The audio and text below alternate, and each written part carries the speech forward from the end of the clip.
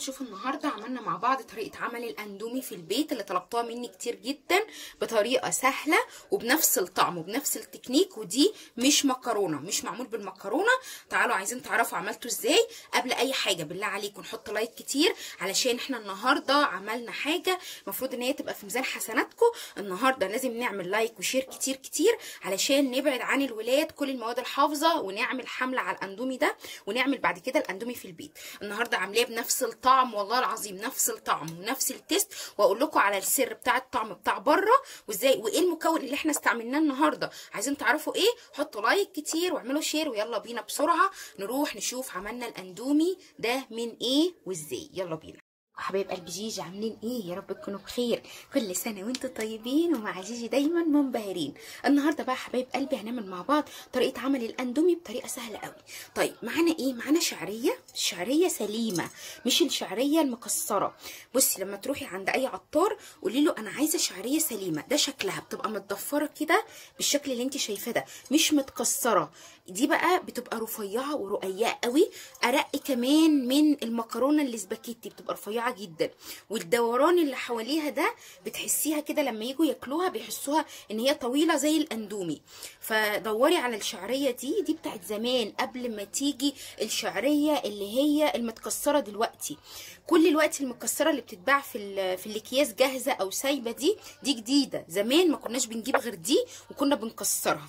طيب معايا قد إيه؟ بس يعني حاول إن هو ما يديهالكيش مكسرة كلها. يعني كنت حاطة معاها دقيق ده شوية دقيق ماشي؟ آه يعني أنا جمعت كده منها اللي هم إيه ثلاث حتت أهو. تمام؟ محضرة مية بتغلي على النار ولازم تغلي كويس في حلة علشان هننزل بالشعرية نسلقها. معايا إيه كمان؟ معايا مكعبين من المرق. وبصي بقى مفيش بديل لمكعبين المرق عشان توصلي للطعم اللي هو اللي بره. عشان في ناس كتير بتقول إن المكعبات مش صحية. آه بصي يعني أنا جربت مكعبات ماجي دي حلوة قوي. يعني هوريكم كده شكلها بستعمل العلبة دي بتبقى طعمها كويس تمام؟ وبحس إن هي أنضف من المكعبات اللي هي اللي هي بالقطعة دي تمام؟ فأنا معايا هنا مكعبين مرق معايا معلقة شطة وهو كده كده الأندومي بيتحط فيه شطة. وال... وال... والإضافات التانية دي بتبقى مرق الدجاج بس بتبقى بودرة فبرضه مش صحية. معايا هنا أهو ده بصل بودرة. بصل بودرة ومعايا هاخد معلقة زيت طيب الزيت ده الايه الزيت ده هنحطه دلوقتي في المية بتاعت الغلي وأقول لكم آه كمان لو انت عارفة لو انت كنت عاملة شوية كشري وعندك من الزيت بتاع. بتاع التقلية ده عارفة لما بيجي في كيس الأندومي بيجي كيس كده بتاع تق... آه زيت اللي فيه زيت ده بيبقى الزيت اللي هو آه. معمول من اللي هو طالع من البصلة تمام؟ يعني يديكي طعم. لا إحنا هناخد البصل بودرة وهناخد الزيت. زيت عادي زيت دوار شمس. بس المية هتغلي وهنشوف كده هنعمل مع بعض إيه. بالله عليكم نحط لايك كتير ونشوف النهارده هبهركم إزاي. كده معايا المية هتبتدي ان هي تغلي اهي. هحط معلقة كبيرة من الزيت. تمام؟ بالشكل اللي أنتوا شايفينه ده. هنزل بقى بالإضافات معايا قبل ما أحط الشعرية. قبل ما تحطي الشعرية عشان الشعرية تنزل متنكهة بالطعم.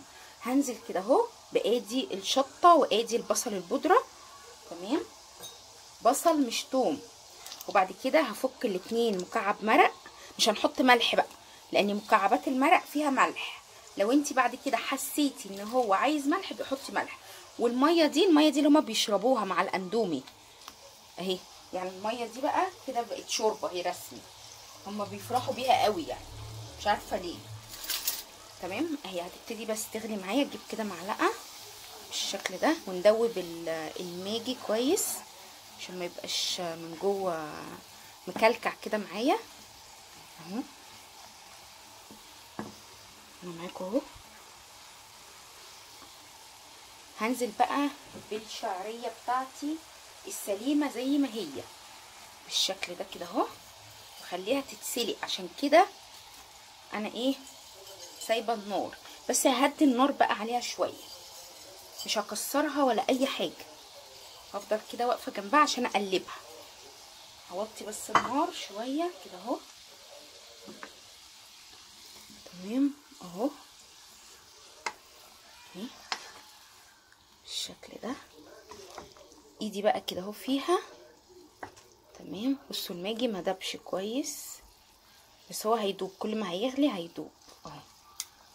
هسيبها بقى كده اهو لحد لما الشعرية بتاعتي تستوي وبعد كده هنشوف هنقدمها مع بعض إزاي وهيبقى شكلها إيه في طبق التقديم. استنى بقى ده شكله كده بعد ما خلص تمام؟ أنا خدت شوية بس من المية لأن المية بتاعت المكرونة بتاعت سليق المكرونة هتبقى تقيلة تمام؟ هتبقى عاملة كده ليها صوص كده تقيلة شوية واللي إحنا بناكلها بتاعت الاندومي مية خفيفة. فهزود مية من الكاتل كده مغلية تمام؟ بالشكل ده عشان تبقى خفيفة معايا.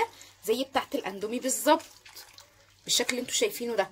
بصوا الشعرية دي ارفع بكتير من المكرونة الاسباجيتي الرفيعه خالص. دي ارفع منها. تمام؟ بالشكل ده. تقدري بقى انت تظبطي بقى الملح. تقدري ان انت تظبطي تزودي بقى سنة ملح. فكده كده أصلا هو فيه لأن إحنا حاطين المكعبين. تمام؟ اهو بالشكل ده. تيجوا بقى كده ندوق كده ونقول بسم الله. اولا اهو عامل زي الاندومي اهو بالظبط. بصوا بالشكل الحلو ده. اهو. تعالوا بقى كده ندوق. بسم الله. طبعا أنا يعني من الحاجات اللي برفض إن أنا أدخلها بس بيبقوا غصب عني بيدخلوها برضو. بس طالما أنا بقى عاملاها في البيت يبقى دوق ما ندوقش ليه؟ ندوقها بس هي طبعا هتكون سخنة فأنا عايزة حبة صغيرين عشان بس ما تبقاش سخنة عليا. بسم الله. امم لا حلوة. مظبوطة قوي. أهي بالشكل اللي أنتوا شايفينه ده. تمام. اهي والمية بتاعتها خفيفة يشربوا بقى ميتها بالشاليمو وياكلوا بيها. وأحسن طريقة للأندومي في البيت. هتعجبكم جدا جدا جدا. أتمنى بقى نحط like عشان ونعمل share كتير عشان ناس كتير تستفيد يا جماعة من الفيديو ده. الفيديو ده مهم جدا النهارده وربنا كده يجعله في ميزان حسناتكم إن شاء الله بإذن الله لأن ناس كتير تستفيد منه. وما تجيبش الحاجات الوحشة من البيت وتعمله بنفس الطعم وبنفس التكنيك لكل الولاد. وأشوفكم بقى في حلقة جديدة وانبهار جديد من مطبخ جيجي على قد إيدي. و bye bye حبايب قلب جيجي. مع السلامة.